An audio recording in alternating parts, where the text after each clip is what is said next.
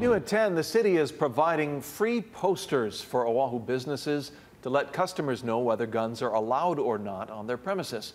The signs are optional for places that don't want to allow guns, but those that do are required to get a sign saying guns are allowed.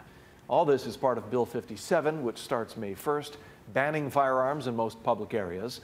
To download the signs, go to oneoahu.org slash sensitive places or pick one up at Honolulu Hale and all satellite city locations except for downtown.